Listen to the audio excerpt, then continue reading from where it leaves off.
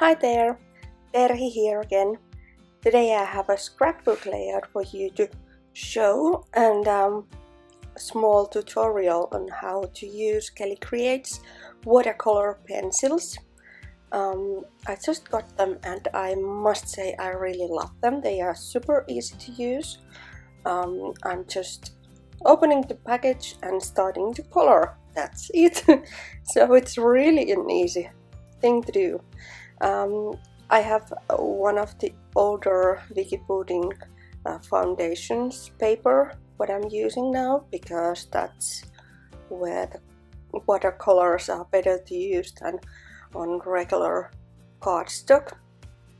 But if you use regular paper or even patterned paper, just add some gesso and you are good to go. Um, I just want to test some, try them out. So I'm coloring and trying to mix blue and uh, yellow and I think that works well. So what I do after coloring, I'm going in with um, water, this time with Kelly Creates um, water brush, which has really fine tip. They are really beautiful and nice uh, for very detailed images like stamped images. And um, as you can see by adding water the magic happens and you will have green by mixing yellow and blue.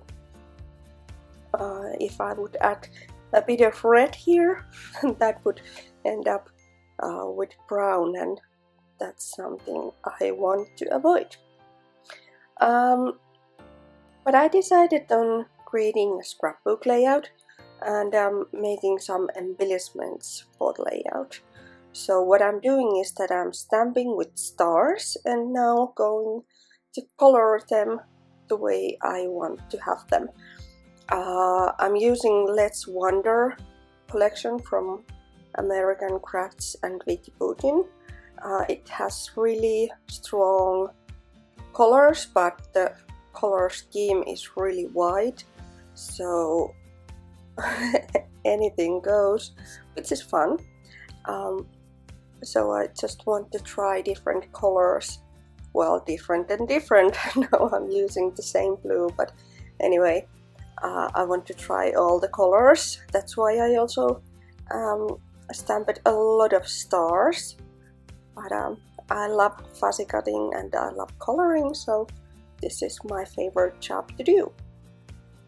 So once the uh, star is completely colored I'm going again with water with this fine tip water brush and as you can see it's really good uh, for the small details like the balloons or how do you want to call them?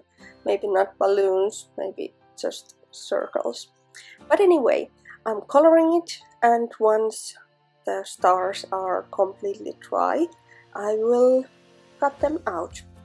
Uh, the stamp set stamp and die set has dies for the stars for all three stars you can see here but I decided on using scissors um, because I don't want to have any white line next to the black line. So I'm using scissors but you can go a bit easier if you hate using scissors and use the dies um, the dies actually goes with any cutting machines I think so no matter if you have a Big Shot or something else, you can still use them. Uh, here's a couple of pictures again. So color it, add some water with water brush or regular brush and then cut it out. I really love this. This is so simple to use.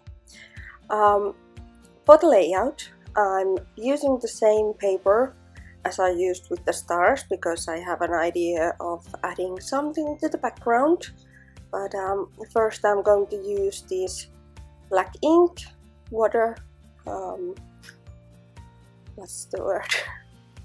Not waterlooped, the uh, waterproof. Thank you, my brains. Uh, I'm using waterproof black ink and um, just stamping couple of words, happy moment and beautiful places here and there. Also the documented or documenting um, is there, but um, I just like to have some details and some words on the background. Um, I'm scrapbooking these two uh, pictures and the story behind them is like so long. Um, I decided on writing it to the background, uh, to the backside of the layout, but um, it didn't fit there actually. So I took another paper and added there, but now that the layout is um, in my album, there's that um, extra paper just next to the layout, so you can see the lovely story and maybe even read it if you have a lot of time. Um, I'm thinking about how to decorate the page. I want to have both of the photos here as they are now and then lovely blooms and stars around. Um, in the Let's Wonder collection there are lots of different things to fussy cut so I'm really having fun now. Um, usually I'm doing this thing splicing around colors um, in the end but this time I decided to do it first. So I have a couple of um, Color Shines from Heidi Swapp and I'm just adding a couple of drops here and there for bit gold and black. Then I'm adding some thread. Why? Because I want to have some some softness to the page. There are really high contrast between white and black um, and the colors are too quite dark so I want to have something soft there. I even added um, some thread to the pictures as you can see there's some thread added and I really like it. I could use thread all the time for all my creations and if you take a really good look you can actually see that there are thread almost on my every creation. Um, but that's let's talk more about this layout and not thread.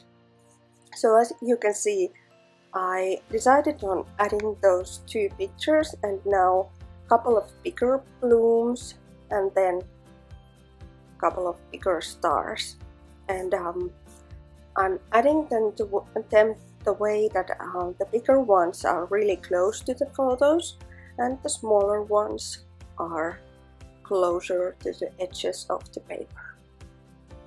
And I'm finishing the whole creation process with uh, coloring up some stamped stars. I stamped them just a minute ago because I wanted to try something with the stars and I like the way I can add small details afterwards. So I just colored them and now added some water and that's it. Super easy. Um, and now the layout is finished and I'm, I'm very happy. Uh, I hope you have learned something. At least I hope you are inspired in some way. And um, I'm really grateful for all the comments and subscribing my channel and everything you have done for me and watching my videos and blah blah blah. I could talk about this forever. But anyway, thank you for watching and have a happy crafty day. Bye!